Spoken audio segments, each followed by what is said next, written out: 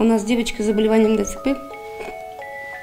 Длительное время мы с ней лечимся, ездим, очень много. Оперировали 7 операций у нас было. После прививочный энцефалит вообще считается. У нас просроченные вакцины. Мы судились два года. Но у медиков очень трудно что-то отсудить. И потом очень трудно потом доказать медиков, что это после прививки произошло. В данный момент нам с Машей требуется восстановительное лечение в революционном центре преодоления. Э, Центр, естественно, на платной основе, не государственный. Вот. И поэтому нам нужны деньги, суммы 310 тысяч рублей. Будет оказано полностью восстановительное лечение и обследование на, всех, на всем оборудовании, которое вообще в России нет, только в этом единственном центре. Вот. И плюс проживание Маша там будет, то есть ее только проживание.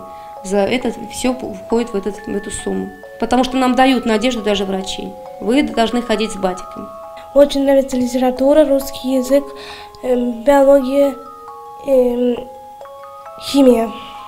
Канон Дойл, я все прочитала, э, это Шерлок Холмс, записки Шерлока Холмса, он очень тяжелый. У меня в детстве была очень большая коллекция э, Простоквашино, я очень люблю читать много детективов. Большая мечта побывать на море.